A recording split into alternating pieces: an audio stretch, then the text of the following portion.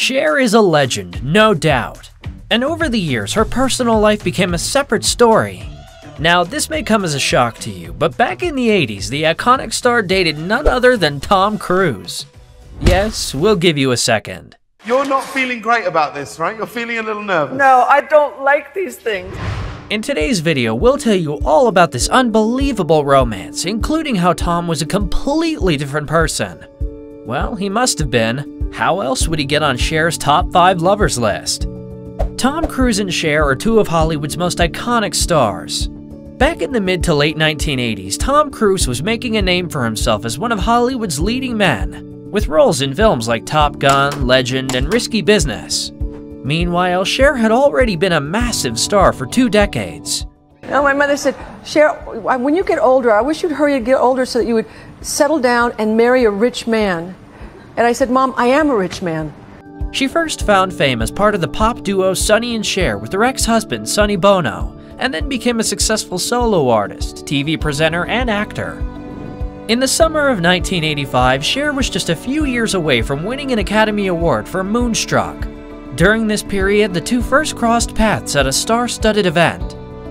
According to the Los Angeles Times, the future couple met at the wedding of another singer-actor coupling, Madonna and Sean Penn. Although Cher and Cruise didn't immediately start dating upon their first meeting, they too enjoyed a brief love affair. The next time they met, it was an inherently more personal circumstance. The future couple crossed paths due to a common disability. As Cher told the Daily Mail, she and Cruise were invited to the White House in late 1985. What was the occasion? Both stars were recipients of the Outstanding Learning Disabled Achiever Award. As it turns out, both Cher and Cruise have dyslexia. And though they didn't begin dating until later, Cher admitted a connection between them at the White House event. A bunch of people who were dyslexic were invited to the White House, and Tom and I are both dyslexic. Cher explained decades later. We didn't go out till way later, but there definitely was a connection there, she continued. Cruise and Cher might seem like the unlikeliest celebrity couple, but it makes sense that part of their story together involved their personal experience with dyslexia. After all, they are far from the only celebrities who have openly discussed their experiences with dyslexia. But their shared recognition for overcoming it makes for a powerful icebreaker. Cher first revealed she had dated Cruise during a May 2008 interview with Oprah Winfrey. The megastar told Oprah that she and Cruise shared more than a one night stand, revealing they had a long date, adding, I lived in his apartment. She talked of him fondly, the way you might remember your sweet high school boyfriend. She even said he was a little traumatized by the bullying he faced as a student. But overall, it seems that there was an innocence to Cher's rendezvous with Cruise that endeared him to her forever. Truth be told, it's a little hard to imagine the man Cher dated. Where 1980s Tom Cruise was said he'd been bullied, 2022's Tom Cruise is the most important member of a church that allegedly ranks people according to class, treats them accordingly, and forces those who misbehave to do literal dirty work as punishment. If you've seen a Tom Cruise interview, there's a certain fanaticism to him. It seems like it would make it hard to be in a serious one-on-one relationship with the guy if you held any opinions counter to his. And Cher's known for speaking her mind.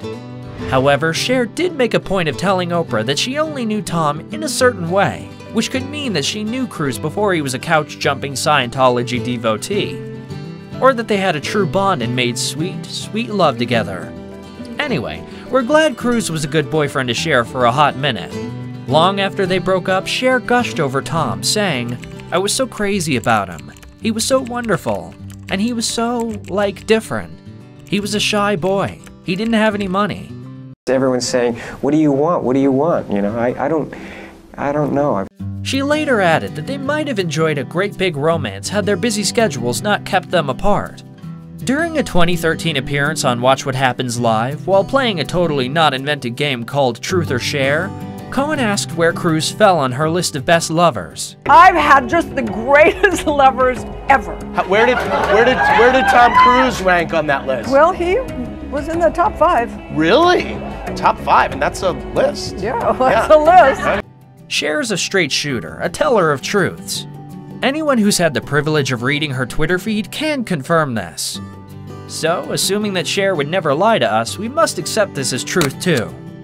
It was pretty hot and heavy for a little minute. She told Andy in an additional feature from the episode. The person that I knew was a great, lovable guy. Fans of both Cruise and Cher might be shocked to learn that they were romantically involved at all. Considering how famous the two stars are now, it's wild that their relationship never really came to light until the late 2000s. But, of course, it was easier to keep celebrity romances on the DL without social media and camera phones. Considering the media spectacle that was Cruise and Katie Holmes' whirlwind romance, Cher herself seemed a bit confused by how differently the Top Gun star approached their own relationship. In 2008, she told Entertainment Tonight that it was a long time ago, and neither one of them ever talked about it, and she doesn't know why. When they were together, he was such a private person. He didn't mention it, and she didn't say it. I loved him though, he was amazing. Now it's hard for me to look at this person in this press. How many times can I watch him jumping up and down on Oprah's couch? By the sounds of it, the stars' relationship appears to have been much more serious than the rumor mill had initially been let on, according to Cher herself. In an interview with Oprah Winfrey, the singer revealed she and Cruise even lived together for a brief period. That being said, they couldn't have been together for more than a few months. It turns out their breakup happened because of scheduling. Cher told ET that they split simply due to not being able to spend time together. It was after Risky Business and right before The Color of Money. I couldn't go to Chicago, and that was kind of the straw that broke the camel's back, she explained. The Color of Money began shooting in Chicago in January 1986. Cruise and Cher's White House rendezvous had happened in October 1985. Things ended amicably between the two, and they even shared a sweet on camera reunion at the Love Rocks concert on Valentine's Day in 2002. Had they remained together, it seems there would have been more than busy shooting schedules standing between them. I don't get what he does, that whole Scientology thing, she said once in an interview. And when the star shared the news about her future autobiography in 2018, reportedly, Tom wasn't stoked. She revealed on Twitter that she was working on her new memoir, saying, Writing life story, book due out first part of 2020, biopic to follow. Might we say at 75, she's a prolific tweeter, with even her most mundane updates, such as have to take a shower, garnering 17,000 likes. Apparently, when Tom Cruise heard that Cher would be writing a tell-all book, he became a little worried. Believe it or not, this shy boy didn't feel good about the whole reveal. A source on the set of Tom's Top Gun 2 told Daily Mirror that the actor wasn't exactly jumping on the couch over Cher's new memoir. Everyone knew he wasn't happy, the source said, adding, It seemed like a bit of a touchy subject. While Tom Cruise may not be thrilled about the yet to be released Cher's memoir, we are waiting with anticipation for all the secrets that the star may end up spilling. Shortly after splitting from Cher, Cruise wed actor Mimi Rogers.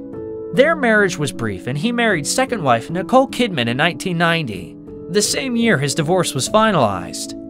Kidman and Cruise, who share two adult children, split early in the new millennium. He and Katie Holmes welcomed their daughter in 2006 and wed eight months later. They announced their divorce in the summer of 2012. Laura Prepon was rumored to be dating Cruise in 2014, but she swiftly shut down the speculation and wed another man four years later.